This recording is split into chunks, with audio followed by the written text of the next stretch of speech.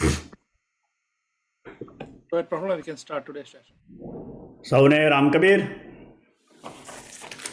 ઓમ શ્રી સદગુરુ કબીરાય નમઃ આપ સૌ ભક્તજનોમાં વસેલ કબીરના રામ આત્મારામને કબીર વિઝડમ તરફથી સપ્રેમે વંદન શ્રી રામકબીર ભક્ત સમાજ ઓફ યુએસએ તથા સર્વે ચેપ્ટરો અને સર્વે ભક્ત સંસ્થાઓના સેવાભાવી સેવકો તરફથી આજના કબીર વિઝડમ કાર્યક્રમમાં ભાગ લેનાર ફેસબુક લાઈવ અને સમય મળીએ યુટ્યુબ પર જોનાર સર્વે કબીર પ્રેમી ભક્તજનોનું હાર્દિક સ્વાગત કરતા આનંદ અનુભવું છું. આજે પ્રથમ પ્રાર્થનાથી સદગુરુ કબીર સાહેબના આશીર્વાદ લઈશું.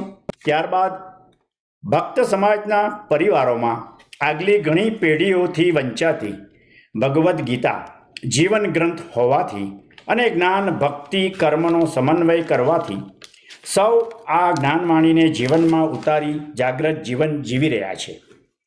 ભગવાનનું ગીત, ગીતાનો પ્રથમ અધ્યાય, અર્જુન વિષાદ યોગ, પછીનો બીજો અધ્યાય, સાંખ્ય યોગ ઉપરનો સત્સંગ, કબીર વિઝડમ ટીમ મેમ્બરો, માનનીય શ્રી રાજુભાઈ દયારામભાઈ ભક્ત અને રાજેન્દ્રભાઈ ડાયાભાઈ ભક્ત તેમનો સત્સંગ સાંભળીશું. સત્સંગ બાદ જોડાયેલા ભક્તજનોને કોઈ પ્રતિભાવો હોય તો તેની ચર્ચા બાદ સમયસર કાર્યક્રમની સમાપ્તિ કરીશું. ગુરુ બ્રહ્મા, ગુરુ વિષ્ણુ ગુરુદેવો મહેશ્વરા, ગુરુ સાક્ષાત પરબ્રહ્મા, તસ્મૈ શ્રી ગુરુવે નમઃ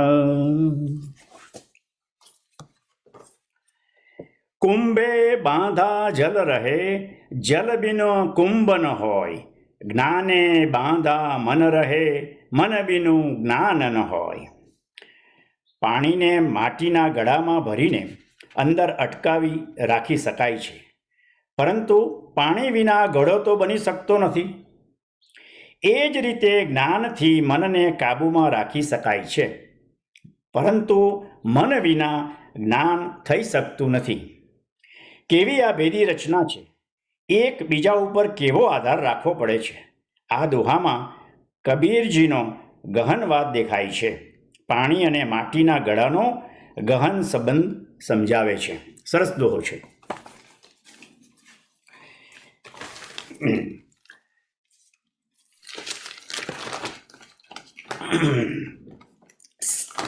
વિશ્વમાં સર્વે સુખી રહો સર્વે નિરામય દુઃખ રહિત હો સર્વેનું કલ્યાણ થાઓ તેવી ભાવના સાથે અને વિશ્વના ભક્ત પરિવારોએ ગુમાવેલ સ્વજનોને અશ્રુભીના હૃદયના ભાવે શ્રદ્ધાશુમિન અર્પિત કરી તે સર્વે પુણ્ય આત્માઓને ચીર શાંતિ મળે અને પરિવારને માનસિક શારીરિક સક્ષમતા આપે તેવી શુભ ભાવના સાથે સૌએ આ પ્રાર્થના કરી.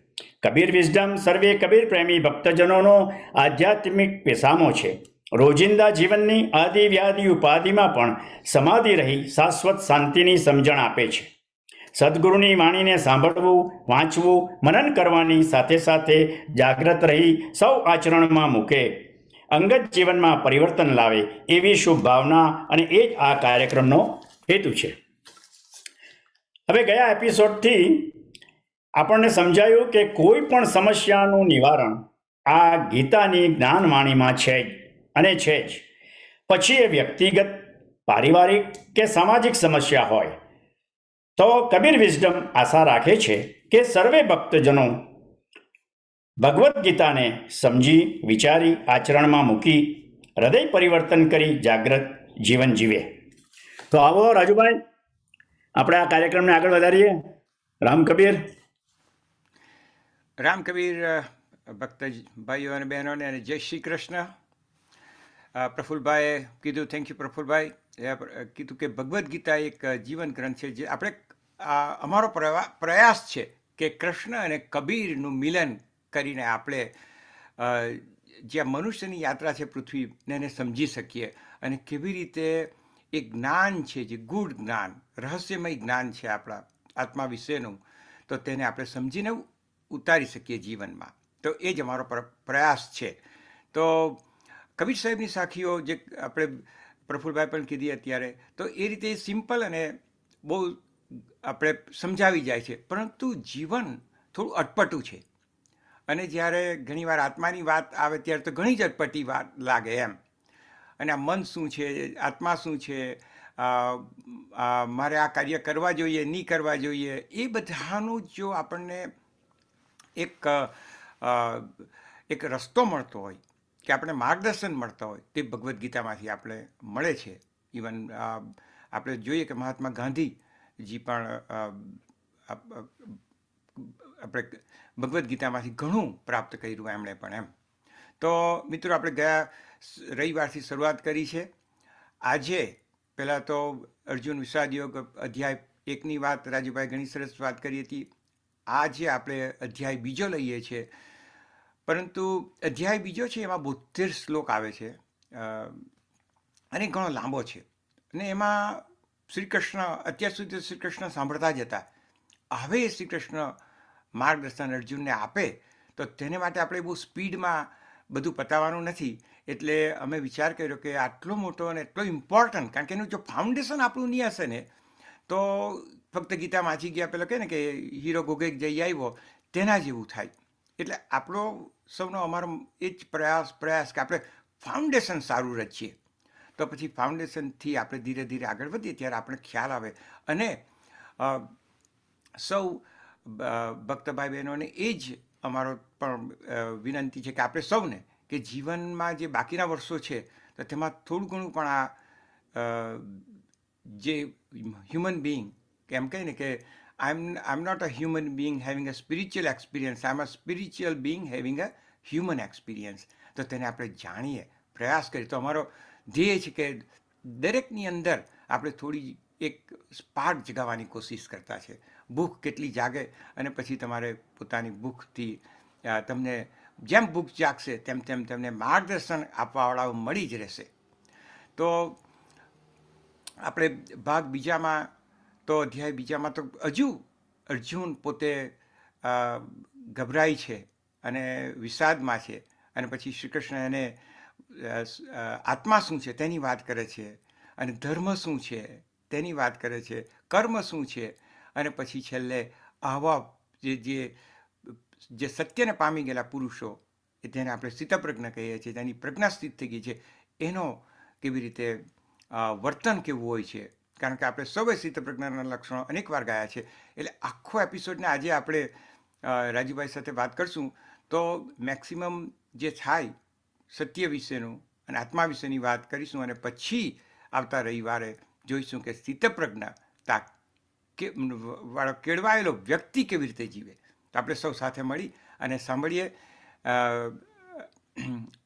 અધ્યાય બીજો. અને હું રાજુભાઈ દયરામભાઈ ભક્ત પ્રસ્કોટ વેલીને હું વિનંતી કરું. આવો રાજુભાઈ. રામ કરવડી જય શ્રી કૃષ્ણ. રામ કબીર અને ગયા રવિવારે જે આપણે શરૂઆત કર્યો છે તો આગળ વધારીએ. અને બસ તમને હું અર્પણ કરું છું આ સેશન. જરૂરથી. રામ કબીર. રામ કબીર. वसुदेवसुतं देवं कंसचाणूरमर्दनं देवकी परमानन्दं कृष्णं वन्दे जगद्गुरुं कक्काकेवलब्रह्म हे बब्बा बीजशरीर रर्रा सब में रमि रहा ताको नाम कबीर शंकरम शंकराचार्यम केशवम बादरायणम सूत्र भाष्यकृतं वन्दे ભગવંતો પુનઃ પુનઃ આ એક વૈશ્વિક ગ્રંથ Shrimad Bhagavad Gita celestial song of God એટલે આપણે તેના ઉપર વાત કરતા રહેલા છીએ તે અઢાર ચેપ્ટરની અંદર વિસ્તૃત થયેલો છે. પહેલા અધ્યાયની અંદર આપણે અર્જુન વિષાદ યોગ વિશે ટૂંકમાં સિંહાવલોકન જેવું કર્યું હતું. આગળના આ અધ્યાય, બીજા અધ્યાયની શરૂઆત કરતા પહેલા, જે અર્જુનને જે વિષાદ થયો છે, આ વિષાદ શું છે? અને તે વિષાદ એ યોગ જ છે. અને એ યોગ કઈ રીતે વિષાદ યોગ કઈ રીતે બને છે? એના ઉપર થોડી વાત કરી લઈએ તો આપણને આ બીજા અધ્યાયના પ્રવેશ દ્વારમાં આપણને જવાનું સૂઝે એવું અમને લાગે છે. તેથી વિષાદ વિશે થોડી વાત કરીએ. આપણે ગત વખતે વાત કરી કે વિષાદ એટલે શોક નહીં. શોક ઘણીવાર આપણને એમ લાગે, બહુ એકદમ થીન લાઈન છે બે વચ્ચે, શોક અને વિષાદ. એટલે આપણને એમ સરખું જ લાગે તેથી આપણે ઘણી વાર ગૂંચવાઈ જઈએ છીએ. જેમ કે આપણે એક એક્ઝામ્પલ લઈએ કે દયા. તો આ દયા શબ્દ છે જેને સમજવા માટે આપણે શું કરીએ છીએ કે કોઈ ઓર્ફન કિડ્સ હોય ઓર્ફન એક સંસ્થા, એનજીઓ, તે બધા ઓર્ફન કિડ્સની લોકોને કંઈક દાન, ધર્મ વગેરેથી ચલાવતી સંસ્થા હોય અને એને માટે દયા શબ્દ સમાજમાં પ્રસારિત કરવામાં આવે અને કહેવામાં આવે કે ભાઈ આ બધા બિચારા, બાપડા મા બાપ વગરના અને આવી રીતના ઓર્ફન કિડ્સ છે અને એને સમાજમાં હળધૂત કરવા ન જોઈએ અને એને માટે દયા શબ્દ વાપરીને તમે એમને માટે કંઈ આ સંસ્થામાં દાન આપો, જેથી તેના જીવનનું કંઈ ઉદ્ધાર થાય. તો આપણને આ જરા વિશ્લેષણ કરીને જોઈએ કે આ દયા શબ્દનો અર્થ કેવી રીતે આપણે સમજતા હોઈએ. તો આ જે દયા છે એ ઓર્ફન કિડ્સ છે. એટલે ઓર્ફન કિડ્સ એટલે આપણે સમજીએ કે જેના કોઈ માતા પિતાનો પત્તો નહીં. ગેરકાયદેસર. બીજા અર્થમાં સમજવું હોય તો. અને સમાજની અંદર કેટલાક એવા બાળકો છે કે જેની પાસે કાયદેસરના માતા પિતા છે અને તેને ખરેખર મદદની જરૂર છે. તેને મદદ મળતી નથી. કેમ? કારણ કે આ દયા શબ્દની અંદર એ ફિટ થતું નથી. કેમ? કારણ કે તેની પાસે લીગલ પેરેન્ટ્સ છે. આ દયા શબ્દ તેને કઈ મદદ નહીં. અને પેલાની પાસે કોઈ સંસારની અંદર સમાજની અંદર કોઈ માતા પિતાનું ઠેકાણું નહીં, એવા ઇલીગલ કિડ્સ માટે દયા. અને ખરેખર જે સમાજને બેઠો કરી શકે એવો સમર્થવાન આ જે બાળક એ યુવાન થઈને આખા સમાજને ધારણ કરી શકે એવી ક્ષમતા ધરાવવા વાળો હોય, એને કોઈ મદદ નહીં. કેમ? કારણ કે એની પાસે લીગલ માતા પિતા છે. આ દયા શબ્દનો એબ્યુઝ છે. તેવી જ રીતનો આ વિષાદ જે છે આ વિષાદને સમજવા માટે આપણે વિચાર કરીએ. ગ્રામર ગ્રામેટિકલી જોઈએ તો વિષાદ એટલે ખિન્નતા, વિહવડતા ઉત્સાહ રહિત જે કાર્ય, જે કઈ કૃતિ, જે કઈ ક્ષણ એના અંદરથી ઉત્સાહ જતો રહે એટલે વિષાદ. એવી જે પરિસ્થિતિ, એવો જે સમય, એવી જ રીતનો જે વાત એવી જ રીતનું જે કર્મ એને વિષાદ કહેવામાં ગ્રામેટિકલી છે. આ જે વિષાદ છે, તે યોગ કેવી રીતે બને? યોગ કેવી રીતે બને? તો આ એના જે ભગવદ્ ગીતાના મહર્ષિ વેદ વ્યાસે આખું ચેપ્ટર એક, જેને અર્જુન વિષાદ યોગ કહીને કીધું જેનું આપણે ગયા વખતે થોડું બર્ડ વ્યૂ કર્યો હતો. અને આગળ હવે આપણે જો બીજા અધ્યાયમાં પ્રવેશ કરવો હોય, તો પ્રથમ અધ્યાયનું જે મૂળ સંકલ્પ સ્થાન શું છે તે જો સમજીએ તો સમજાઈ જાય. તો જે વિષાદ છે, આ વિષાદ માટે એક આપણે વિચાર કરી લઈએ. તો એના અંદર એક તો સ્વના આનંદ માટે. સ્વની અંદર રહેલો જે આનંદ છે, તેને માટેની જે કઈ કૃતિ કરવામાં આવતી હોય,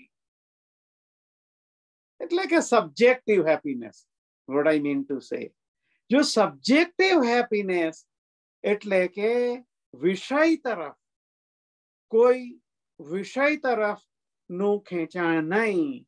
અને સ્વ માટેના આનંદ તરફ જવા માટેનું જો હેપીનેસ માણસને લાગવા માંડે. અને બીજી બાજુ આપણે જોઈએ તો એક ઓબ્જેક્ટિવ હેપીનેસ છે. ઓબ્જેક્ટિવ એટલે વસ્તુ. વસ્તુ વિષયક. વસ્તુ તરફ જેનું સુખ, વસ્તુ જેનું પ્રાઇમરી કેન્દ્ર છે અને તે તરફની જે હેપીનેસ છે તે આપણે વિષાદને સમજીએ છીએ, એટલા માટે આ લઈએ છીએ. કે જે ઓબ્જેક્ટ છે ઓબ્જેક્ટિવ જે હેપીનેસ છે તે વસ્તુ ક્ષણિક છે. આપણે જોઈએ છે. વસ્તુ એટલે તેનું પ્રત્યેક ઠેકાણે નામ હોય કે ભાઈ સેલફોન કે ચશ્મા કે ફલાણું કે ઢીમકણું. અને આ બધું જે વસ્તુ છે, આ વસ્તુ ક્ષણિક છે. આપણે કહે છે ને, જેનું નામ છે તેનો નાશ છે. તો આવી જે વસ્તુ છે, તેનો નાશ થતો હોય, તે વસ્તુ ક્ષણિક છે. જે ઓબ્જેક્ટિવ હેપીનેસ છે, તે ક્ષણિક છે. બીજી તરફ જોઈએ, તો જે સબ્જેક્ટિવ હેપીનેસ છે, તેમાં આત્મરતિ આત્મરતિ, આત્મતુષ્ટિ અને આત્મપુષ્ટિ. આત્મરતિ એટલે સ્વનો આનંદ. સ્વની અંદર રહેલો જે આનંદ એની અનુભૂતિ થવી.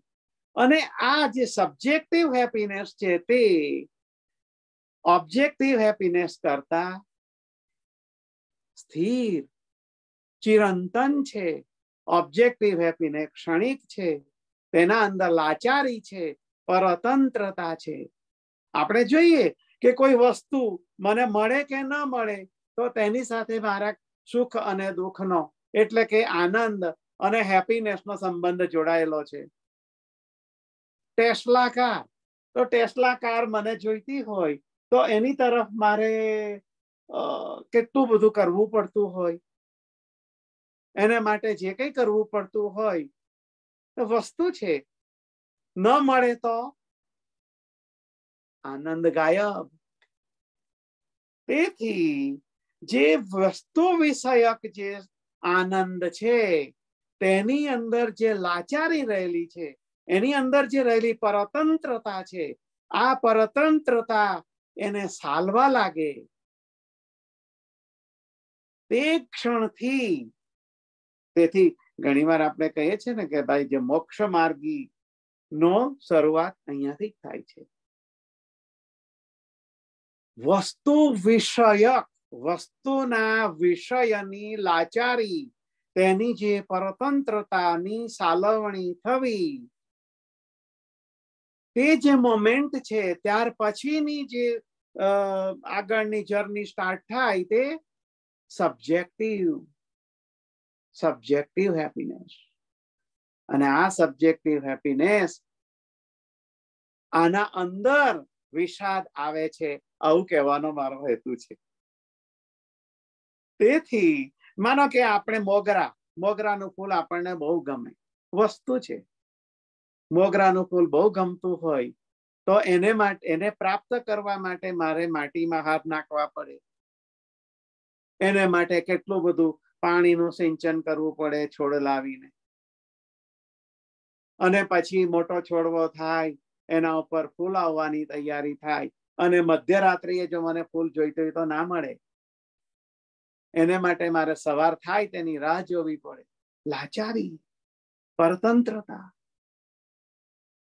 તેથી અહીંયા જે આપણે આવે છે, તે વિષય, વસ્તુ વિષય તરફની આપણી ઇન્દ્રિય સુખની જે લાલસા અને એ તરફની જે આપણને જે લાચારી, પરતંત્રતા જો સાલવા માંડે, બીજા કોઈની દાઢીમાં હાથ નાખવો પડે ઘણી વાર આવું ન થાય. એ જે સ્થિતિ, એની પછીના એન્ડ ઓફ ધેટ સ્થિતિ, તે પછીની જે સ્થિતિ આવે. કહેવાનો અર્થ એટલો જ છે કે તે જે સ્થિતિ છે, તે સ્વના આનંદ તરફ જતી અને ત્યાં પણ લાચારી છે. સ્વનો આનંદ પ્રાપ્ત કરવા માટે પણ લાચારી છે. પણ તે લાચારી આ વસ્તુ માટેની જેટલી છે, તેટલી નથી. તેથી આગળ આપણે વિચાર કરતા કહીએ કે ભાઈ, અહીંયાથી જ મોક્ષ માર્ગની શરૂઆત થાય. અને આ મોક્ષ માર્ગની જે શરૂઆત થતી હોય, તે ઘડી વિષાદથી શરૂઆત થાય છે. અને એ તેથી આ પહેલો અધ્યાય એ મુખ્ય પ્રવેશ દ્વાર છે. અને ત્યાર પછી આગળ અર્જુનને જે વિષાદ થયો, તેના પછી આગળ આપણને જે દુગ્ધ ગોપાલ નંદન ગાય પાસે જેમ વાછરડું જાય, વાછરડું અને એની પાછળ એને દૂધનું અમૃત પાન મળવા લાગે તેવી રીતનું અર્જુન આવી સ્થિતિમાં આવે છે. સિદંતી મમ ગાત્રાણી મુખંચ પરિસુષ્યતિ આ બધું ગયા અધ્યાયમાં આપણે થોડું જોયું. અને તેનાથી આગળ હવે આ અધ્યાયની અંદર ભગવાન કે, ભગવાનને માટે એમની વાણી ને આવકારવા માટેની આ પૂર્વ ભૂમિકા વેદમ વ્યાસે રજૂ કરી અને અર્જુનનો જે વિષાદ છે તે કહેતા એ કે છે. સંજય એનું વર્ણન કરે છે. સંજય અર્જુનને જોઈને કહે છે કે આ અર્જુન કેવો થઈ ગયો છે? એના આંખમાં આંસુ આવે છે. દુર્બળતા દેખાય છે એનામાં. અને આમ કરીને કૃષ્ણ મધુસૂદનની સામે ઊભો રહીને કહેવા લાગ્યો કે, હે ભગવાન, હવે મારે આ બધું કર્યાથી મને જો સ્વર્ગનું પણ સુખ મળતું હશે, તો તે મારે શા કામનું?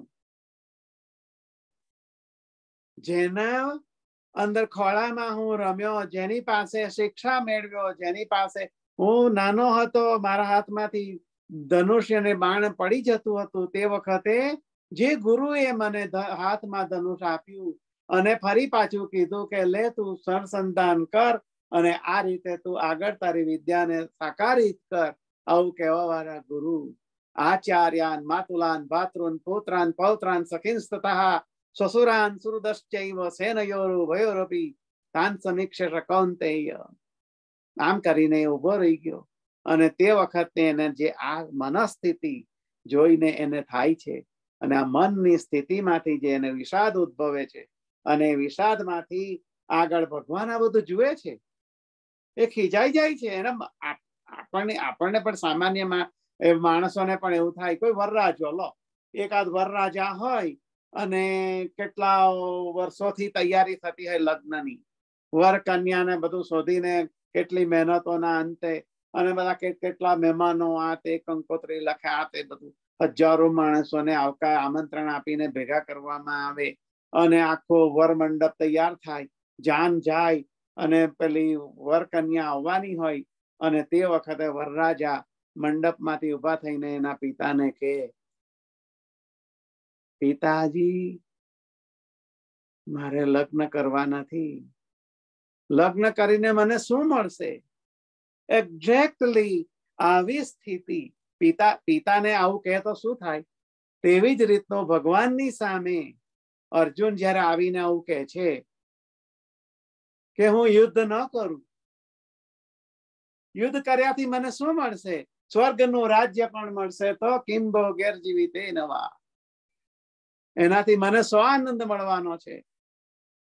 મને કશો આનંદ મળશે નહીં. જે માતૃ માતૃપક્ષના આચાર્ય, પિતૃપક્ષના શાલા સંબંધી નસ્તા બધાને હણીને જો મને સ્વર્ગનું પણ રાજ્ય મળશે, તો એમાંથી હું કઈ રીતે આનંદ પ્રાપ્ત કરી શકીશ? આવા વિષાદ, આવા ખિન્નતામાંથી જન્મેલો જે યોગ છે અને તેના પછી આ પ્રવેશ દ્વાર ઊભું થયું અને એના પછી ભગવાન જે કહેવા માંડ્યા. ભગવાન ત્યાર પછી કે છે, કુસ્ત એમને પહેલું સમજાવે છે, જેમ વરરાજા પેલું ઊભો ઊભો થઈ જાય છે મંડપમાં તેને પિતા અને ખીજા ગુસ્સો આવી જાય છે તેમ. ભગવાનને પણ ગુસ્સો આવ્યો જ હશે. અહીંયા વર્ણન નથી કરવામાં આવ્યું, પણ એનો અર્થ અનર્થ કરશો નહીં કે ભગવાન ગુસ્સે થઈ ગયા હતા, આવું કશું છે નહીં. પણ આપણે આ તો સામાન્ય રીતે આવું વિચાર કરીએ તો કૃષ્ણને પણ ગુસ્સો આવ્યો જ હશે. કેટલા વર્ષોથી કેટ કેટલી સંધિઓ કર્યા પછી અંતે જ્યારે આ યુદ્ધની ઘડી આવી, જે વખતે સામેના પક્ષના તને મારવા અને હણવા માટે તૈયાર થઈને ઉભેલા છે તેવી સ્થિતિએ તું હવે એમ કહીને ઊભો રહે છે કે હું લડીશ નહીં? એટલે કૃષ્ણ ભગવાન કે એને પહેલી એક દવા આપે છે. દવા. ત્યારથી ભગવદ્ ગીતાના બીજા અધ્યાયની શરૂઆત થાય છે અને તે આપણે કહીએ છીએ કે ભગવાન એને કહે છે કે, કુતસ્થા કશમલ, કશમલમિદમ વિષમેશમ ઉપસ્થિતમ નાર્ય જુષ્ટમ સ્વર્ગ્યમ અકીર્તિમ કરમ અર્જુન કે હે અર્જુન, આ તાર, તારામાં આવા અનાર્ય અને જુષ્ટ જેવા વિચારો કઈ રીતે પેદા થયા? હીન પુરુષત્વ તારામાં ક્યાંથી આવ્યું? વિષાદમાં ઘણા ભાવો છે. તેમાંનો એક ભાવ એટલે હીન પુરુષત્વ. અહીંયા રાજભાઈ, એક, તમે બહુ સુંદર વાત કરી અને સૌ ભક્તજનોને આપણે યાદ કરાવીએ કે જો દરેકના જીવનમાં નિરુત્સાહ કોઈ વખત આપણે એનો માઇન્ડ એવું છે કે એ બબ્બે ઘણીવાર છે તે એક માઇન્ડ કે કે ચાલ હું આમ કરીશ અને પછી પાછું એ જ માઇન્ડ ફેરવાઈ જાય. અને એ તે વખતે સામાન્ય દાખલો લઈ ઘણીવાર આપણે સાંજે સૂતી વખતે કહ્યું કે ભાઈ છ વાગે કાલે ઉઠીને હું એક્સરસાઇઝ કરીશ ને બધું કરીશ. છ વાગે સવારે એટલે માઇન્ડ તે જ માઇન્ડ પાછું ફેરવાઈ જાય કે ના, સુઈ રે, કંઈ કામ નથી ને શું મળવાનું ને એવું. એટલે આ બહુ મહત્ત્વની વસ્તુ છે જે રાજુભાઈ વાત કરે છે કે નિરુત્સાહ થઈ જાય. અને નિરુત્સાહ થઈ જાય તેને જે મોટિવેટ કરવો પડે, તો કૃષ્ણની જે આ મોટિવેશનની જે ટેકનિક છે, હવે જે રાજુભાઈ વાત કરશે ને એના પર ખાસ ધ્યાન રાખજો, કારણ કે બહારથી આવેલું મોટિવેશન છે ને, એ ક્ષણભરમાં થોડી વાર જતું રહેતું છે. આપણે ઘણી વાર કેટલાય સારી, સારા વ્યક્તાઓને સાંભળવા જઈએ છીએ, સેમિનારમાં જઈએ, તો મોટિવેટ થઈને આવીએ. તો બે ચાર દિવસ તો એ મોટિવેશન ચાલે. પછીથી એ ફિઝલ આઉટ થઈ જાય. અને આ બધાનો જ અનુભવ થોડે ઘણા મદ અંશે હોય છે. ભક્તજનોને વાત કરું છું. પરંતુ જ્યારે ઇનર મોટિવેશન અંદરથી જે મોટિવેટ થાય ને, તે પછી કોઈ લઈ નથી શકતું ને ઓછો નથી થતો. હવેની જે ટેકનિક શ્રી કૃષ્ણની છે, એ બહુ મહત્વની છે. અને રાજુભાઈએ કીધું કે એને પણ ગુસ્સો આવ્યો જ હશે. આઈ થિંક મેં એકાદ જગ્યાએ વાંચેલું કે અર્જુનને મૂર્ખ કહી છે એમ. હવે સાચી વાત છે કે ખોટી વાત એની આપણે એમાં પડવાનું નથી. આપણે જ જોવું છે કે હવે જ્યારે પેલું વરઘોડો આવીને પેલો કે મારે નથી એ કરવા એમ બધી તૈયારી કર્યા પછી પણ હવે એને મોટિવેટ કેવી રીતે કરવો? તો રાજુભાઈ એને, એનો સ્વધર્મની વાત કરશે અને આગળ લઈ જશે. તો Rajubhai continue thank you very much no problem પછી ભગવાન સીધા આપણે અર્જુનને સમજાવવા લાગે છે કે ભાઈ, આ જે તું જેને તું હણવાની વાત કર, પહેલા આ એક દવા આપે છે કે તું અનાર્ય થઈને તારા આવી દ્રષ્ટિ કેવી રીતે તારી બની શકે? તું અકીર્તિ ચાર્જ તારી અકીર્તિને આગળ ધપાવવાની જે આ તારી સ્થિતિ છે તે તું આ જગ્યાએ આવીને કેવી રીતે ઊભો રહી શકે? તારા જેવો મહાપુરુષ તારા જેવો સુરવીર, મહાવીર, તે આવી રીતનો થઈને ક્ષુદ્ર હૃદય દૌર્બલ્ય વાળો કેવી રીતે બની શકે? તેથી તારા હૃદયની દુર્બળતાને તું કાઢ. ક્ષુદ્ર હૃદય દૌર્બલ્યમ ત્યક્ત્વતિષ્ઠ પરંતપ હે પરંતપ તારા હૃદયની અંદર જે દૌર્બલ્ય આવી ગયું છે, હીન પુરુષત્વ આવી ગયું છે, તેને કાઢ અને ઊભો થા. તસ્માત ઉત્તિષ્ઠ કૌંતેય યુદ્ધાય કૃત નિશ્ચય આનાથી કઈ એને થતું નથી। ફરી પાછો અર્જુન એને ભગવાનને કે છે કે, હે મધુસૂદન પૂજા હા વરિસૂદન ગુરુ ન હત્વા મહાનુભાવાન આ બધા મહાનુભાવો છે, જે ગુરુ છે, કોઈ ભીષ્મ પિતામાં જેવા વડીલો વડીલો છે, તે બધા મારા માટે પૂજાર્હા વરિસૂદન. પૂજાને પાત્ર છે અને તેવા બધાને હું કેવી રીતે દૂર કરી શકું? તેથી ભગવાને હવે બીજી ચાવી પકડી અને બીજી ચાવી કે છે કે જે તું આત્મા અનાત્માની વાત કહેવા માંગે છે. અને તે કહે છે કે નૈનમ છિંદંતી શસ્ત્રાણી, નૈનમ દહતી પાવક, ન ચૈનં ક્લેદયંત્યાપો, ન શોષયતી મારુત, અચ્છેદ અયમ દાહ્યોયમ અક્લેદ્યો શોષ્ય, એવ છે આત્મા અને અનાત્માની વાત કરતા કરતા કે આ બીજી ચાવી આપે છે. ભગવાનને કે ભાઈ જો તું તારું પેલું થી તારું ખુલતું ન હોય તો આ બીજી ચાવી વાપરી જો. એમ કરીને ભગવાને બીજી ચાવી લગાવીને આ અર્જુનનું તાળું ખોલવા ટ્રાય કરે છે અને કે છે કે આ જે તું આત્માને, જે આત્માને હણવાની વાત કરે છે, જે આત્માનો તું નાશ કરવાની વાત કરે છે, તે આત્મા તો નાશ પામતો જ નથી. એ આત્મા તો અનાદિકાળથી અનંત છે. આ જે શરીરની જે દેહી, એટલે કે દેહી નો સ્મિન્યથા દેહે કૌમારમ કૌમાર્ય અવસ્થા છે યુવાન અવસ્થા છે, જરા એટલે ગઢપણ અવસ્થા છે, એ બધી તો દેહીની અવસ્થા છે. આત્માને અને એને શું સંબંધ છે? ભીષ્મ પિતામહને જો મૃત્યુ નિશ્ચિત હશે, તો એને માટે હજારો ડોક્ટર અહીંયા માંદા થયા હોય અને હજારો વૈદ્યો એની દવા કરવા માંડશે, તો પણ એ આત્માને તું રોકી શકવાનો નથી. અને હજારો સુરવીરો એના પર તૂટી પડશે, તો પણ એનું હનન કરી શકવાનો નથી.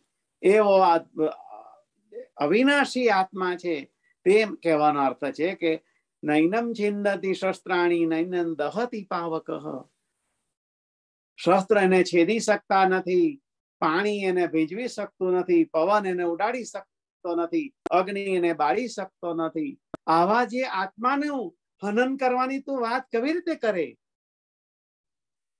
આ જે આત્મા છે એ આત્મા તો અનાદિકાળ અનંત સુધીનો છે તેથી તારી અંદર રહેલો જે આ ક્લૈબ્યપણું જે છે, આ ક્લૈબ્યપણું તો કાઢ. અશોચ્યાનંદ વશોચસ્તમ પ્રજ્ઞા વાદાંશ ભાષસે ગતાસુન ગતાસુંશ્ચ નાનું સોચંદી પંડિતા. જેનો શોક કરવા યોગ્ય છે, તેનો તું શોક કરતો જ નથી. અને પંડિતના જેવા વાક્યો બોલે છે. આમ કરીને અર્જુનને તે સમજાવવા પ્રયત્ન કરે છે. અને આગળ જતા કહે છે કે આ જે આત્મા છે તે કેવો છે? આશ્ચર્યવત પશ્ચતિ કશ્ચિદેનમ આશ્ચર્યવદ વદતી તથૈવ ચાન્યુ. આશ્ચર્યવચ્ચન્યમન્ય શૃણોતિ શ્રુત્વાપ્યેનમ પ્યદન ચૈવ કશ્ચિત જે વર્ણન કરવા વાળો જેનું અનંત કાળ સુધી વર્ણન કરતો રહે તો પણ વર્ણન થઈ શકે નહીં. જેને આશ્ચર્યવદ વદતી બોલવા વાળો બોલીને તેનું વર્ણન કરી શકતો નથી લખવા વાળો લખીને કરી શકતો નથી.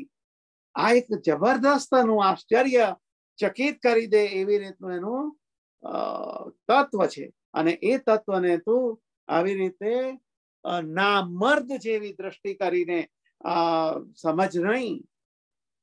આમ કરીને ભગવાન એને આગળ આ રીતે સમજાવવા પ્રયત્ન કરે છે. તેથી આગળના બીજા થોડાક આપણે શ્લોકોની અંદર જે ભગવાન એને કહે છે તે અ, જો જોવાનો આપણને જો સમય હોય તો લેશું. રાજુભાઈ.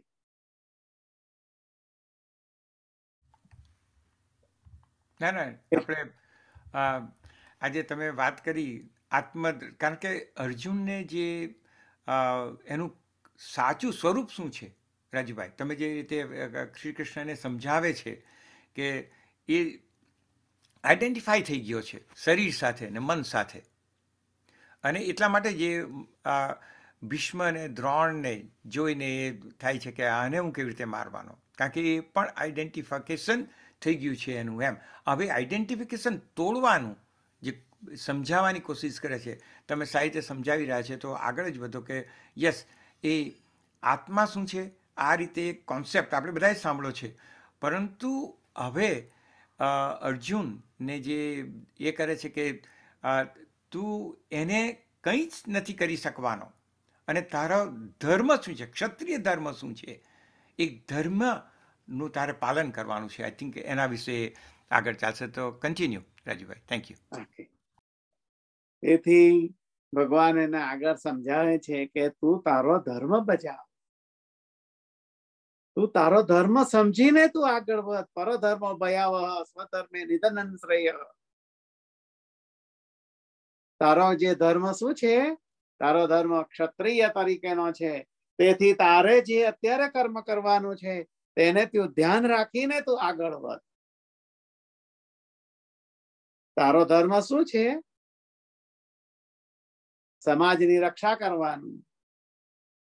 સમાજની રક્ષા કરવા માટે આ જે બધા આતતાહીન લોકો છે સામે ઉભેલા. આવા આતતાહીન લોકોને જે તારે હણીને એના ઉપર નવ સમાજની રચના કરવાની હોય, તો તે તારે માટે એ ઊભા થઈને તારે એનું હનન કરવું, એ તારો ક્ષત્રિયનો ધર્મ છે.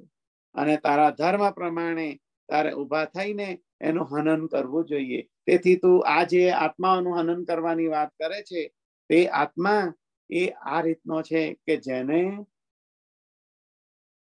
જેને કોઈ આવી રીતની સ્થિતિ નથી, કૌમારમ યૌવનં જરાહા, એ કુમાર પણ નથી, યૌવન પણ નથી, જરા પણ નથી. અને એ આત્મા તો અજર અમર અવિનાશી છે અને તેનું તું તો હન કરતો નથી. પણ આ તતાઈમ શરીરની અંદર જે આવેલા આવી રીતના જે છે તેને તારે હણીને એ લોકોને આ માર્ગમાંથી દૂર કરવા માટે તું કટિબદ્ધ થઈને ઊભો થા. અને તો પછી ભગવાન ને અર્જુન કે છે કે ભાઈ, તો પછી આવા બધા જે ભયંકર તમે કહો છો કે આત્મા અને અનાત્મા જે જો આવી રીતના આત્મા ને કશું કરવાનું પણ ન રહેતું હોય, તો હું આવા ભયાનક કર્મ શા માટે કરું? ત્યારે ભગવાન એને સમજાવે છે કે, ભાઈ, જો અર્જુન, તારે આ ભયાનક કર્મ કરવા માટે તું તો માત્ર નિમિત્ત થયેલો છે. નિમિત્ત માત્ર ભવસવ્ય સાચીન.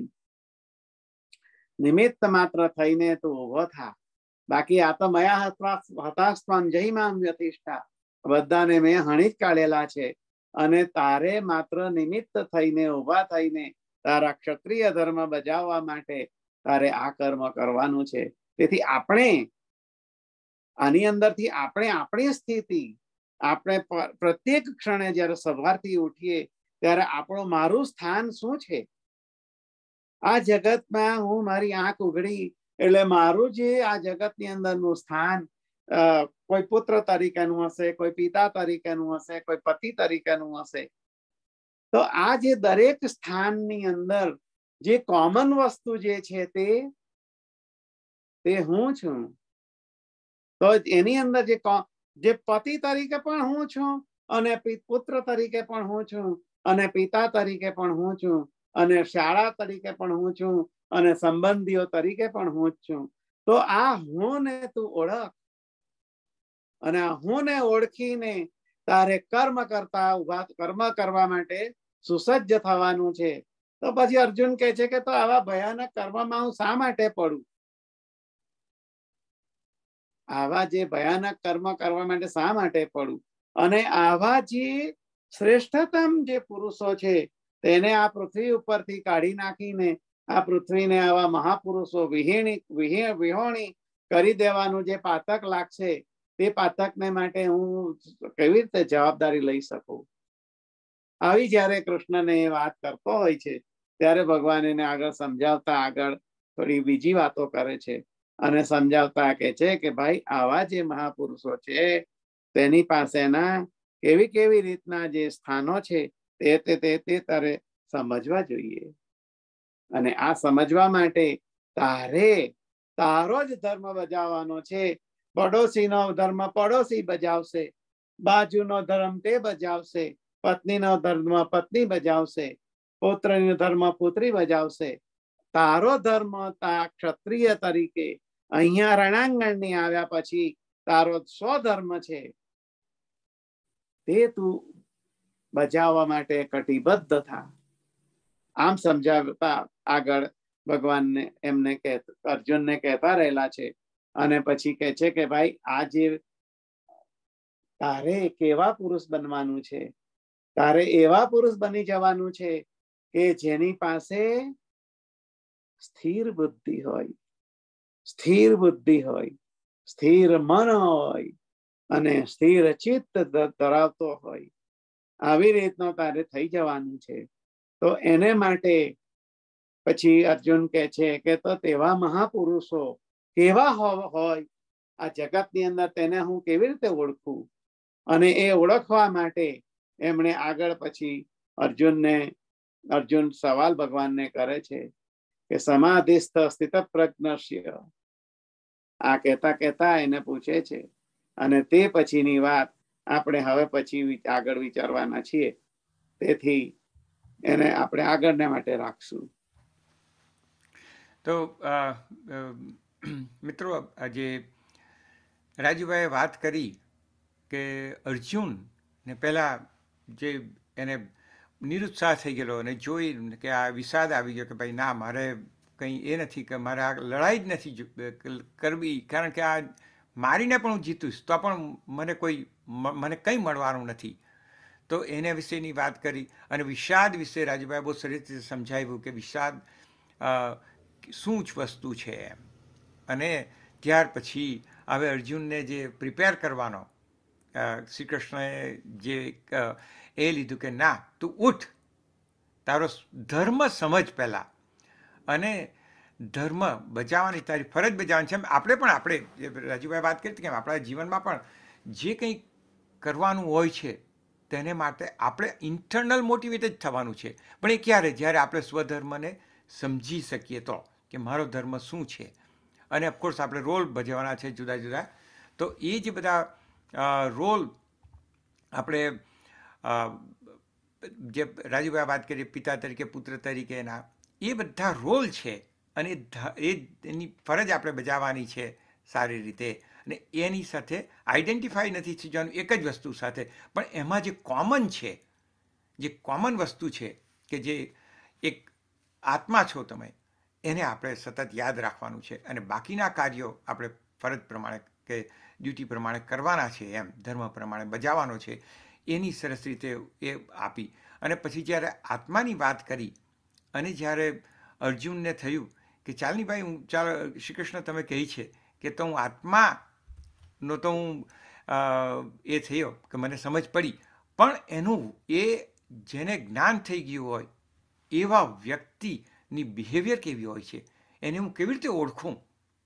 એટલે ત્યારે આપણને જે રાજુભાઈએ કીધું તેમ કે સમાધિમાં સ્થિતપ્રજ્ઞ જાણવો કેમ કેશવ, બોલે રહે ફરે કેમ મુનિ જે સ્થિર બુદ્ધિનો, એમ જે પ્રશ્ન પૂછે છે અને આપણે અસંખ્ય વાર ગાઈ ચૂક્યા છે.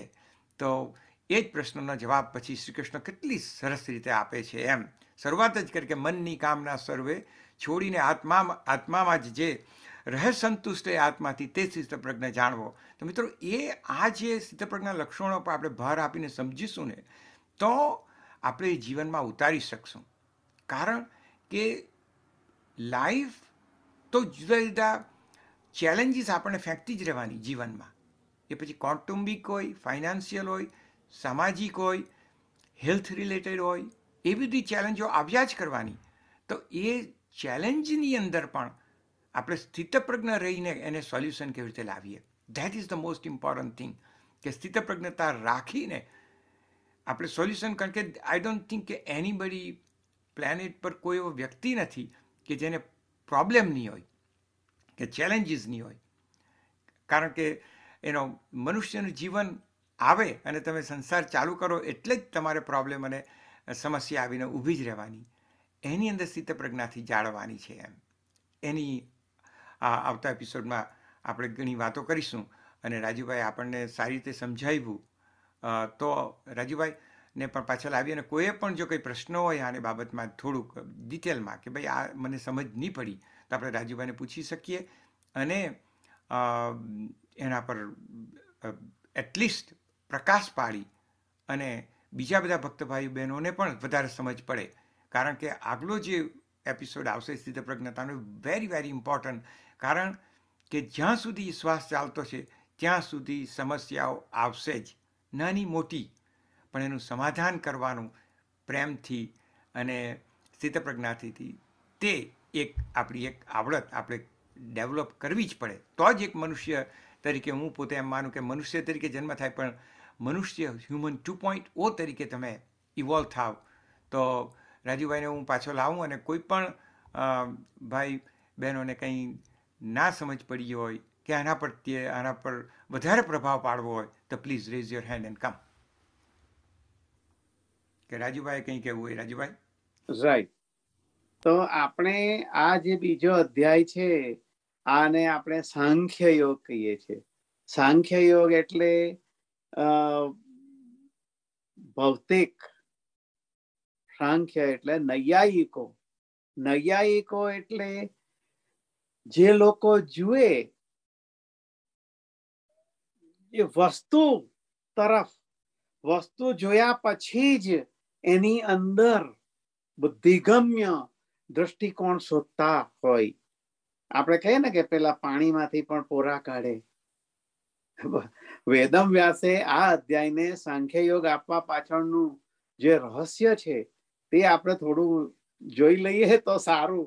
કારણ કે તો આપણને શું થશે કે આનું સાંખ્ય યોગ એટલે શું? ભાઈ, આપણને તો લાગે કે ભાઈ, સાંખ્ય એટલે સાંખ્ય, હવે એમાં શું બીજું? પણ સાંખ્ય એટલે શું?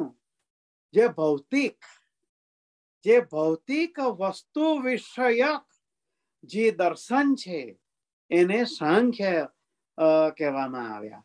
અને તેથી આપણે જે દસ દર્શન શાસ્ત્રો છે, તેમાંનું એક સાંખ્ય દર્શન શાસ્ત્ર પણ છે.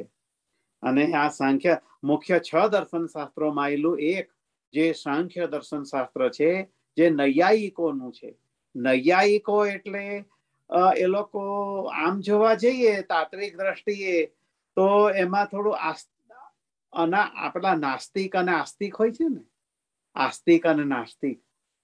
આપણા માટે ફક્ત એટલી સમજણ હોય છે કે ભાઈ, આસ્તિક એટલે ભગવાનને માનવા વાળો. અને નાસ્તિક એટલે ભગવાનની વિરુદ્ધ જવા વાળો. એટલે ભગવાનનું એનામાં કઈ સ્થાન જ નથી એટલે નાસ્તિક. પણ જે એનું તત્વ જે છે, એનું મૂળ જે રૂપ છે, કે આસ્તિક એટલે તે ભગવાનને માનવા વાળો પણ નાસ્તિક હોઈ શકે છે. ધર્મને સમજવા વાળો પણ નાસ્તિક હોઈ શકે છે. આવું આપણે આ સાંખ્ય યોગો સાંખ્ય લોકો એટલે કે જે નૈયાયિકો છે, જે ભૌતિક વિષયક દૃષ્ટિકોણ વાળા જે લોકો છે અને તેવા લોકોનું એક આ સમજણ છે. એટલે આપણે જો સાંખ્ય યોગને આ રીતે જો મૂલવીએ અને સમજવા પ્રયત્ન કરીએ તો આખા અધ્યાયની અંદર કે આને સાંખ્ય યોગ કહેવાની પાછળનો મૂળ હેતુ એ છે કે આ પણ સારું, આ પણ સારું, પણ એમાં જો ખરેખર દેખાતું હોય અને જો મને પશ્યતી પશુ જે પશુ જુએ અને એ જ કરે અને જો મને એની પછીનો કઈ વિચાર ન આવે. ભૌતિક ભૌતિક વિજ્ઞાન. પાણી એમ પકડીએ તો ઠંડુ લાગે, એટલે આપણને એમ થાય કે ભાઈ આ પાણી ઠંડુ છે. એની નીચે બર્નર મૂકવામાં તો ગરમ થાય તો કે ગરમ થઈ ગયું. પાણી કેવું છે તો કે ગરમ છે. પાણીનો જે મૂળભૂત અંદર રહેલો જે સ્વભાવ છે, શીતળતા, આ જો આપણે સમજીએ તો આ નૈયાયિકોથી ઉપરનું જે દર્શન છે તે આપણે સમજી શકીએ. તેથી ભગવાન જે આ અર્જુન આવા નૈયાયિકો જેવા ફક્ત ભૌતિક દ્રષ્ટિવાળા વિચારોની અંદર સપડાઈ ગયેલો હતો. અને તેમાંથી એને કાઢવા માટેનું જે ઊભું કરે છે તત્વ, તેના વિચાર અને તે વિચારો એટલે સ્થિત પ્રજ્ઞના લક્ષણો. અને તે આપણે તો આની પર ડિટેલમાં અભ્યાસ કરવાની જરૂર છે. કોઈ કે કે ભાઈ આને તમે બહુ આટલું બધું ખેંચાતાણ કરીને કહેવાનો શું અર્થ છે? અરે ભાઈ, ખેંચાતાણ કરવાની જરૂર છે. અનંત કોટી જન્મોથી આવી રીતના જેની ઉપર ચેપડા બાજ્યા છે. આ ચેપડા એકાદ જન્મની અંદર એકાદ વખત સાબુ ઘસેથી કઈ ફીટવાના નથી? એને માટે વારંવાર હઠોળા માર્યેથી જ એરણ ઉપર ઘડ્યાથી તલવાર બનશે એની ધાર બનશે અને એ ધાર બનેલી તલવાર દુશ્મનોના ગળા કાપશે. આવી રીતનો એની પાછળનો હેતુ હોવો જોઈએ. અને તેથી જ આ સાંખ્ય વિચાર જે છે સાંખ્ય આ સાંખ્ય વિચાર આપણે જેમ વિષાદ માટે જોયું તેવી રીતનું સાંખ્ય માટે પણ આપણે જો આવું સમજી લઈએ કે ભાઈ સાંખ્ય એટલે શું? તો એ તેની પાછળનું આ આવી રીતનું થોડું આપણે દ્રષ્ટિકોણ રાખીને એના ઉપર આપણે જોવા ટ્રાય કરશું. એટલે ભૌતિક જે છે તે ન રહેતા ભગવાન એની પાછળ એમાંથી એને બહાર કાઢીને કર્મ પ્રવૃત્ત કરવા માટે આગળ એને સમજાવવા ટ્રાય પ્રયત્ન કરે છે. અને તે એ જે ત્રીજી ચાવી છે. અને તે ત્રીજી ચાવી આપણે રિઝર્વ રાખવાની હતી એટલા માટે એ આપણે પછીના સેશનમાં આપણે એના પર વિચાર કરવાના છે. પણ રાજુભાઈ કહે છે તે પ્રમાણે કે આ સ્થિત પ્રજ્ઞ અર્જુન ત્યાર પછી પૂછે છે કે ભાઈ આવા આવા જે મહાન પુરુષો થઈ ગયા, મુનિઓ થઈ ગયા છે, તેની પ્રજ્ઞા સ્થિર કેવી રીતે રહી શકે?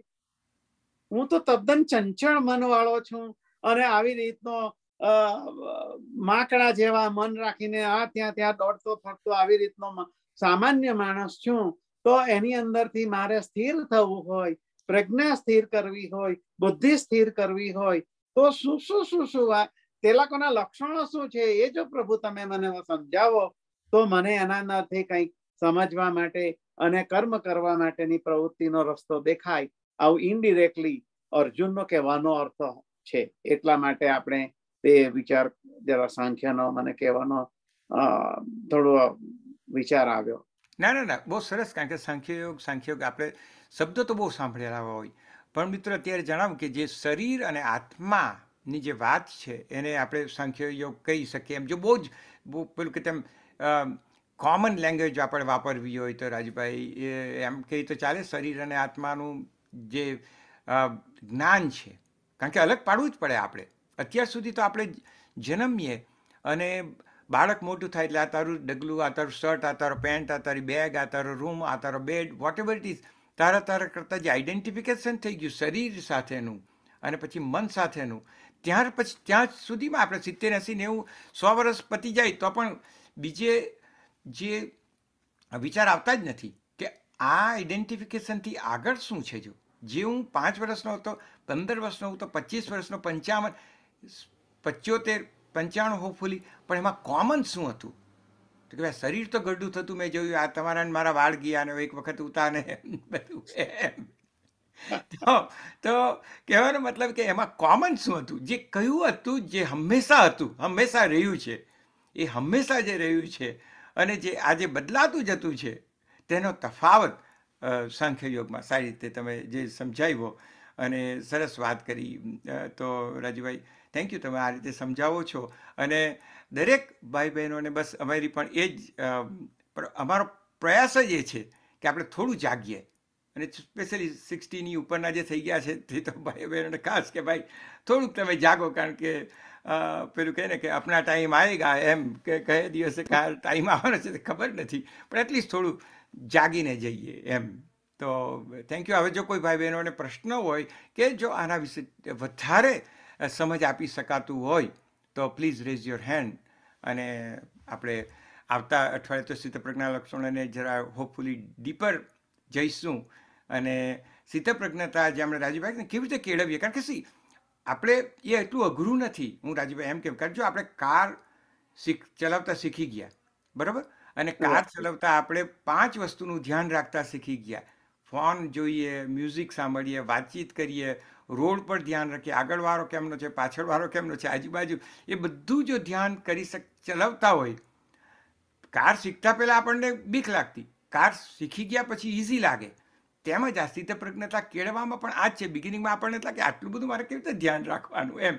પણ ધીરે ધીરે ધીરે પ્રેક્ટિસ કરવાથી, કારણ કે આજે આપણે જોયું કે મિત્રો યાદ કરીએ કે મંગળ પર જો, મનુષ્ય મંગળ પર જઈ અને જો સાધન મૂકીને પચાસ મિલિયન માઇલ દૂર એ સાધનને જો કહી શકતો હોય કે તું આમ કર ને ખોદ ને આ ઇન્ફોર્મેશન મોકલ મને, કે પછી એક મિલિયન માઇલ દૂર ટેલિસ્કોપ જેમ્સ વેબ મૂક્યો, તેને મૂકીને જો મનુષ્ય એ બ્રહ્માંડના દર્શન કરાવી શકતા હોય બેઠા બેઠા, તો આ સ્થિતપ્રજ્ઞા લક્ષણો પણ આપણે કેળવી શકીએ અને સ્થિતપ્રજ્ઞતા ડેફિનેટલી લાવી શકીએ. પરંતુ એમાં આપણા જેવો જે આ કન્ટિન્યુઅસ સત્સંગ અને તે જો રાખશું તો ડેફિનેટલી આવે એમ. તો હા આપણે ગોવિંદજીએ કંઈ કહેવું છે? આવો ગોવિંદજી એક મિનિટ તમે હું લાવું તમને રાઈટ અનમ્યુટ કરજો.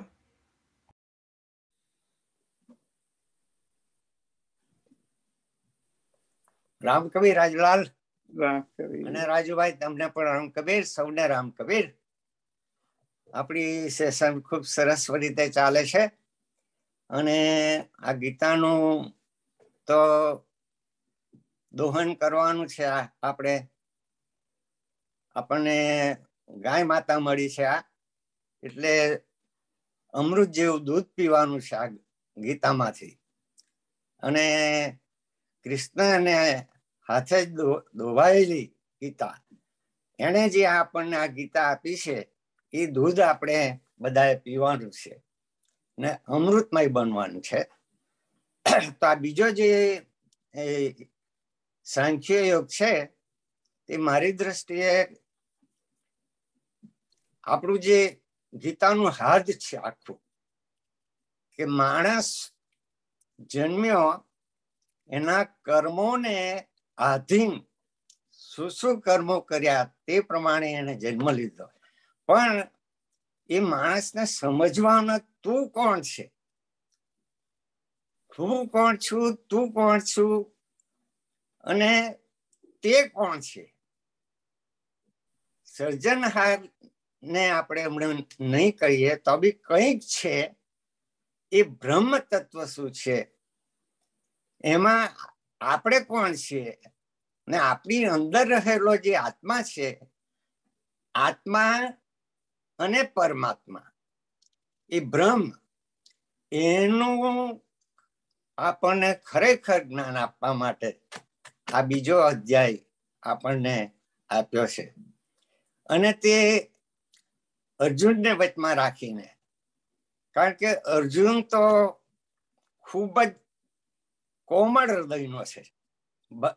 તદ્દન કોમળ હૃદયનો છે.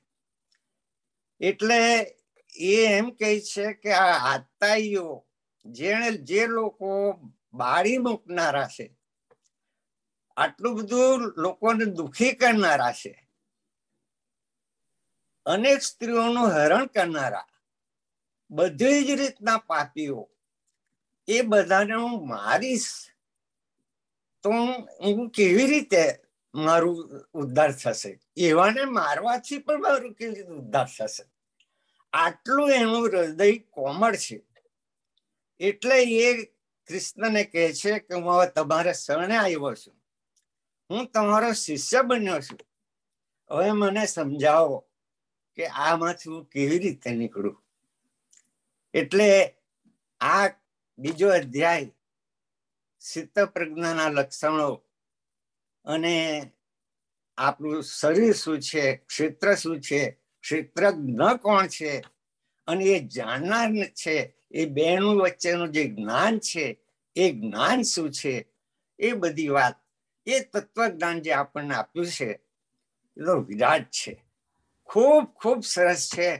અને તમારા જેવા આજે સમજાવે છે તો બહુ આનંદની વાત છે. આપણે એનો રસપાન કરતા રહીશું. સૌને Ram Kabir. Ram Kabir. Thank you thank you હવે રાઈટ કઈ ગયા? આવી ગયા.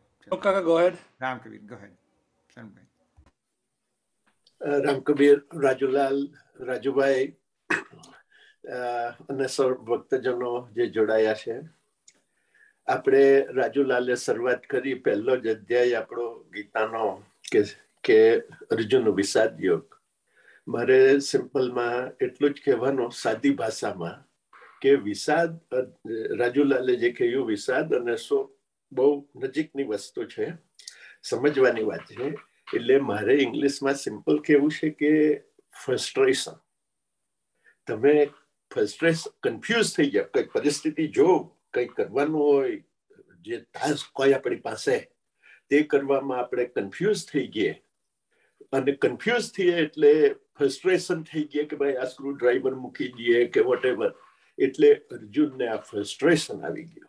આ બધું જોઈને રિયલ પરિસ્થિતિ જોઈને એક એક વિષાદ એને થયો હવે સાંખ્ય યોગ પરિસ્થિતિ બતાવે છે એટલે કૃષ્ણ ભગવાને કહ્યું કે ભાઈ તું આજે જોઈ રહેલો છે મારી દ્રષ્ટિએ શું છે પરિસ્થિતિ એટલે સિચ્યુએશન છે એટલે કહ્યું કે ભાઈ આ છે પણ ખરેખર તારે આ શું છે તું મેન્યુઅલ જો એટલે ગીતા એક મેન્યુઅલ છે આ ટાસ્ક કરવા માટે આપણને આ શરીર મળેલું છે. તો એ સંપૂર્ણ મોક્ષ માર્ગે સંપૂર્ણ કરવા માટે આપણને આ ગીતા રૂપી એક મેન્યુઅલ કૃષ્ણ ભગવાને આપ્યું છે. એ સાંખ્ય યોગ પરિસ્થિતિ પ્રમાણે શું કરવાનું છે, આ પરિસ્થિતિ શું છે તે બતાવે છે. હવે રાજુલાલે કહ્યું કે રાજુભાઈ તમે કહ્યું કે મંગળ પર પહોંચી ગયા. આજે ચંદ્ર પર આપણે ચાલતા થઈ ગયા છે. બહારની પરિસ્થિતિ બાજુ તો ઘણો અવકાશ થયો છે. પરંતુ જે અંદરની બાજુ બારી ખોલે છે, આપણા શાંતિ માટે, ખરેખર આત્માની કલ્યાણ માટે જે બારી ખોલે છે તે બારી ખોલવાનું સાધન આ ગીતા છે. અને એ ગીતાનું જ્ઞાન છે. એ આપણને આજે તમે બધા જે પીરસી રહ્યા છે, એ એ ખૂબ ખૂબ આનંદ છે. અને મારી એટલી જ વિનંતી કે બધામાં ધ્યાન લઈ સમજે, ના સમજાય તો પ્રશ્ન પૂછે. પણ ખરેખર હૃદયથી સમજીએ. ખાલી ઉપર છેલ્લું સાંભળી લઈએ કે આ થયું, તે થયું. પણ ખરેખર સમજી તો જ આપણે એ વર્તણૂકમાં મૂકી શકીએ. અને મારી કબીર વિઝડમ ટીમને અને અત્રે જોડાયેલા બધા શ્રોતાજનો કે ભાગ લેનારા ભાઈ બહેનો એમને વિનંતી છે કે આ જ્ઞાન જ્યારે પીરસાઈ રહ્યું છે, આ પ્રસાદી મળી રહી છે, ત્યારે આપણે એકબીજાને જણાવીએ. એટલીસ્ટ હું બે જણને જણાવું કે ભાઈ, આ સાડા દસ વાગે આપણા ટાઈમે આ જ્ઞાનની પ્રસાદી પીરસાઈ છે. એની વધારેમાં વધારે જાહેરાત થાય, વધારેમાં વધારે લોકોને પહોંચે એવા આપણે પ્રયત્ન કરીએ. દરેક શ્રોતાજનો, જોડાયેલા ભાઈઓ કબીર ટીમ બધા જ આપણે પ્રયત્ન કરીએ. કારણ કે આ જ્ઞાન એ ખરેખર અંદરની બારી ખોલનારો અને ખરેખર શાંતિ અને ખરેખર સુખ આપનારો, જે સાચું સુખ એ આ ગીતા જ્ઞાન. અને એ ગોવિંદભાઈએ કહ્યું કે અમૃત સ્વરૂપ છે. તે અમૃતની આજે તમે લાણી કરી રહેલા છે. અને અમને સદભાગ્ય છે કે અમે જોડાઈ શકીએ છીએ. તો થેન્ક યુ અને આપણે બધા એ એ આ યજ્ઞમાં જોડાઈએ. થેન્ક યુ રામ કબીર, બધાને. થેન્ક યુ સનુકભાઈ સનુકભાઈ કેટલી સરસ વાત કરી. અને બાહ્યનો પ્રવાસ તો ચાલુ જ હશે. આપણે કમ્ફર્ટ અને લક્ઝરી તો આપણે મિત્રો ક્રિએટ કર્યા છે અને જરૂરી છે. એનો એ આપણે કરવી જ જોઈએ. પરંતુ જો પરમ શાંતિ અને સ્થિતપ્રજ્ઞતા જાળવવી હોય તો પછી આપણે અંદરના પ્રવેશમાં ઉતરવું પડશે અને ત્યાં આપણને જ્યારે કોઈ મેન્યુઅલ જોઈએ, તો ભગવદ્ ગીતા એક બહુ સુપ્રીમ, યુનિવર્સલ મેન્યુઅલ છે, એમ કહી તો ચાલે. અને એમાં આપણને સીધો રસ્તો બતાવશે કે ભાઈ, હા, તમે અંદર ઉતરો. કારણ કે આંખ મીચો એટલે અંધારું દેખાય. અંધારામાં તમે પ્રવેશ કેવી રીતે કરવાના? એમ. તો ગીતાના જ્ઞાન દ્વારા પછી આપણને ખ્યાલ આવશે કે માઇન્ડ કેવી રીતે ગેમ રમે છે. અને આજે તે અર્જુન સાથે માઇન્ડ અત્યારે ગેમ રમતું છે. તો શ્રી કૃષ્ણ એને જે હેમંતભાઈ લાસ્ટ રવિવારે કહેલું કે, મન કે બહુ તક રંગ હે, છીન છીન બદલે સોય, એક રંગ મેં જો રહે, એસા બિરલા કોઈ. કબીર સાહેબે સીધી વાત કરી દીધી એમ. તો એનું જે જ્ઞાન આપણે ખાસ તો ટેકનિક બધી અન્ડરસ્ટેન્ડિંગ અને ટેકનિક કરીને જે રૂપાંતરણ લાવવાનું એ આપણે પોતે જ લાવી શકીએ, બીજું કોઈ આપણે માટે લાવે નહીં. તો એ લાવવા માટે આપણે પ્રયાસ કરવો પડ, પ્રયાસ અને પુરુષાર્થ એકચ્યુઅલી કરવો પડશે. જે રીતે બાહ્ય ફાઇનાન્શિયલ કે એને માટે આપણે પુરુષાર્થ કરતા છે, તે જ રીતે આ અંદરના માટે પણ પુરુષાર્થ કરવો પડશે અને જાતે જ કરવો પડે. એટલું જ સનુકભાઈએ પણ જે વાત કરી. થેન્ક યુ તો હવે બીજા કોઈ ભાઈઓને પ્રશ્ન કે એટલીસ્ટ આના પર એ કરવું હોય. રાજીભાઈ ગોહેડ આપણે આ સાંખ્ય યોગની અંદર એટલું નક્કી કરી રાખીએ કે જે વસ્તુ છે જે વસ્તુ તરફના જે વિષયો તરફનું જે મારું ઇન્દ્રિય હેપીનેસ છે, એટલે કે જે ઓબ્જેક્ટિવ હેપીનેસ છે, તે તેનાથી જે અલગ જે શરીર છે શરીર છે, તેનાથી જે અલગ આત્મા છે. અને તેથી હું એ આ શરીર નથી. હું જે શરીર એટલે કે હું જે આત્મા છે તે શરીર સમજવાની ભૂલ કદાપી કરશું નહીં. આ પહેલું આપણે દ્રઢપણે સમજી લેવાનું છે. તેથી ઘણા લોકો નથી કહેતા કે ભાઈ, આ જે શરીર શરીર તું નથી ભાઈ સાહેબ. તું આત્મા અલગ છે અને તે સ્વતંત્ર શક્તિ છે. જે પેલા શંકરાચાર્યને એમના ગુરુ પાસે ગયા, ના સાત વર્ષનું બાળક હતા શંકરાચાર્ય. ત્યારે શંકરાચાર્યના ગુરુએ પૂછ્યું એને કે ભાઈ, તું કોણ છે? શંકરાચાર્યને પૂછ્યું હતું શ્રી શાંકર દિગ્વિજયમાં આ બધું આવે છે? એક ગ્રંથ છે. એના અંદર ગુરુને ગુરુને પૂછે, ગુરુ એને પૂછે છે, ત્યારે શંકરાચાર્ય કહે છે, તો હું કોણ છું? અહમ નિર્વિકલ્પો નિરાકાર રૂપો વિભુર્વ્યાપી સર્વત્ર સર્વેન્દ્રિયાણા તદા મે સમત્વ ન મુક્તિર્ન બંધ ચિદાનંદ રૂપ શિવોહમ શિવોહમ. મનોબુદ્ધિ અહંકાર ચિત્તાની નાહમ ન ચ સ્રોત જીહવે, ન ચ ગ્રાણ નેત્રે, ન ચ વ્યોમ ભૂમિર્ન તેજો ન વાયુ. ચિદાનંદ રૂપ શિવોહમ શિવોહમ. આ આત્મસટક પણ આપણે રોજ બોલવા જેવું છે. પ્રત્યેક સવારે ઉઠી નિયમ કરી દેવા જેવો છે. તો આપણને શું થાય? સવારથી એવું ભાન થાય કે આ શરીર તે હું નથી. હું જે છે તે જુદું જ કંઈક તત્વ છે. અને તે જે તત્વ છે તે આ સાંખ્ય યોગની અંદર ભગવાન બંનેને સેપરેટ કરીને સમજાવવા માંગે છે. એમ કહેવાનો અર્થ છે. તેથી સિદ્ધ પ્રજ્ઞ લક્ષણો તે ઠેકાણે આપણને ખૂબ મહત્વના બનશે. ના એ તમે રાજીભાઈ કેટલી સરસ વાત કરી કે આપણે જે બાળક છે તો એકડો ઘૂંટવા માટે કેટલી વાર એકડો ઘૂંટવો પડે એમ. તેમણે જે જે આ એનો ચિદાનંદ રૂપ શિવોહમ શિવોહમની વાતમાં કરે છે એમાં દરેક વખતે હું આ નથી આ નથી આ નથી આ નથી હું આ નથી એની વાત કરે છે. તે જ તમે વાંચો તો ધીરે કારણ કે self remembering is the most difficult thing કે અત્યારે જ આપણે રવિવારે આ સેશનમાં આપણે થોડું ઘણું સાંભળ્યું અને યાદ આવ્યું. પછી પંદર મિનિટમાં આપણે ભૂલી જઈએ. આઈડેન્ટિફિકેશન પાછું થઈ જાય વિચ ઇઝ નોર્મલ નેચર પણ એમાંથી જ જાગવાનું છે. કે આઈડેન્ટિફિકેશન તોડવાનું છે અને આઈડેન્ટિફિકેશન તોડવા માટે જે ભારતીય સંસ્કૃતિનું જ્ઞાન છે આપણે જે રાજુભાઈએ કહ્યું, બે- ગ્રંથની વાત કરી શંકરાચાર્યની. કેવાની ઉપનિષદો છે, તેમાં કેટલા બધા ઉપનિષદો છે. તો એ જે આપણે ગ્રંથ તોડવાની પદ્ધતિ બતાવે છે, જે રીતે અમેરિકામાં રહીને આપણે એર કન્ડિશન હાઉસમાં બ્યુટિફુલ નાઇસ કારમાં સારી રીતે રહીએ છીએ, એ એક્સટર્નલ પ્રોગ્રેસ અમેરિકામાં રહીને આપણે એન્જોય કરી રહ્યા છીએ. તો ભારતીય સંસ્કૃતિની જે દેન છે, એ અંદરની દેન છે. અને વેસ્ટર્ન વર્લ્ડની એક્સટર્નલ દેન છે. એ બંનેને વી આર સો ફોર્ચ્યુનેટ ભાઈઓ, હું તમને કહું we are so fortunate the we can enjoy best of both અને એ બેસ્ટ ઓફ બોથને જો આપણે સમન્વય કરવો હોય, તો આ અમેરિકામાંથી તો આપણે લક્ઝરી એન્જોય કરી રહ્યા છે, પણ ભારતીય સંસ્કૃતિને પણ લાવીએ. અત્યાર સુધી તો આપણી પાસે ફક્ત બે પગે ઊભા રહેવાની સગવડ કરવા માટે જ આપણે સમય વિતાવતા હતા. આજે થોડોક ઉંમર પણ થઈ છે થોડીક સાધન પણ થયા છે. તો વાય નોટ કે જે આપણને મળ્યું છે ભારતીય ઋષિમુનિઓ તરફની ધ્યાન એને સમજીએ અને જીવનમાં ઉતારીએ અને then the life will be a very joyful life with luxury and comfort Ram Kabir. કોઈ પણ ભાઈઓનો હજી સવાલ નથી કે હા સોરી રાજુભાઈએ કહ્યું ને કે આપણે આજે આપણી લક્ઝરીમાંથી પેલું, તો મને એક પંક્તિ યાદ આવી ગઈ. હું ઘણી વાર ગાતો. મનમાં નાતા નાતા પણ આ ગણગણો ઘણી વાર. અને તે આ છે.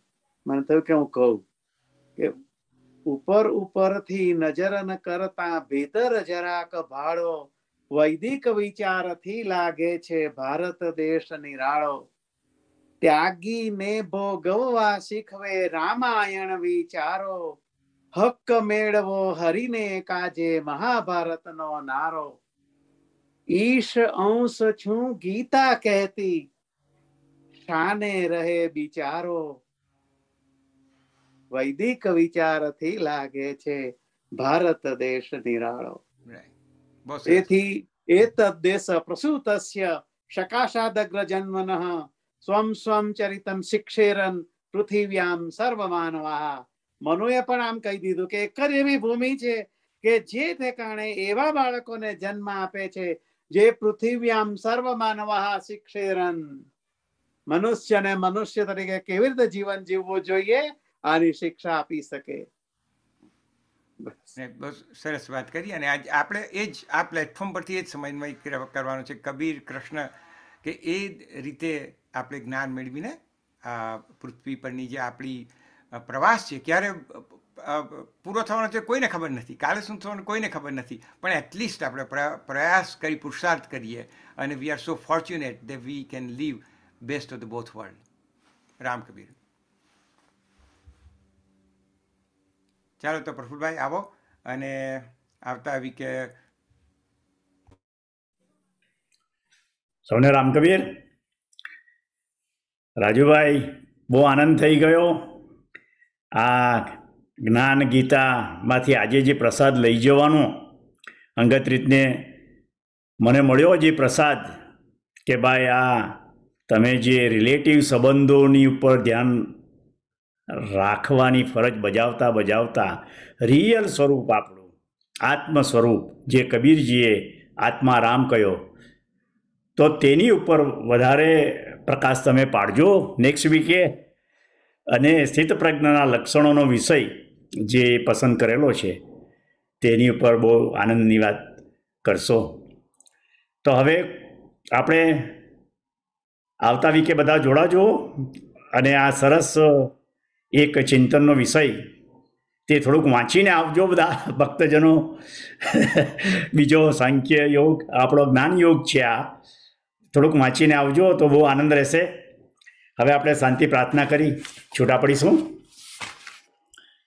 હરિઓમ પૂર્ણયે છે પૂર્ણયા છે, પૂર્ણથી તો પૂર્ણ યોગ્યો છે બધું.